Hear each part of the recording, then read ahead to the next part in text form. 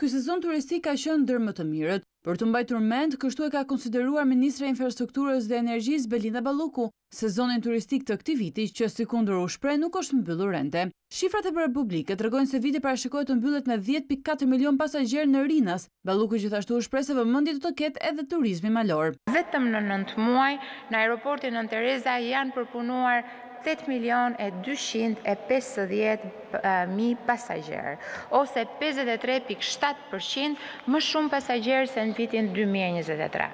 Parashikimet që kemi bërë për numrin e pasagjerëve në aeroportin e Rinasit deri në fund të vitit janë dhjetë pikë katër milionë pasagjerë. Përmbyllja e sezonit turistik veror dy mijë e njëzet e katër shënoi rekorde të reja në nivelet e flukseve hyrëse dhe dalëse të vendit si dhe të ardhurave për ekonominë kombëtare e familjare. Në fjalinë e saj, ministre Balluku u shpreh se viti që vjen do të ketë të tjera sfida për ta kthyer Shqipërinë në kampione të Ballkanit dhe konkurrente të denjë në Mesdhe.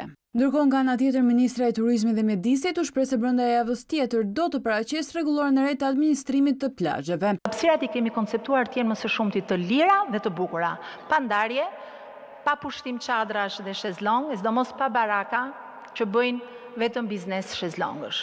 Modeli i ri i menaxhimit të plazheve do të bazohet në parimin kryesor se shezlongët në vetvete nuk mund të jenë modeli parësor i biznesit, por duhen trajtuar vetëm si një aksesor shtesë i strukturave akomoduese, domethënë i hoteleve, të cilat do të jenë të vetmet që do të kenë mundësinë të aplikojnë për të menaxhuar stacione plazhi në proporcion të drejtë me numrin e dhomave. Brenda vitit tjetër Ministria e Turizmit synon të krijojë një regjistër elektronik me të dhënat për çdo vizitor që futet në Shqipëri me qëllim formalizimin e mëtejshëm të këtij sektori.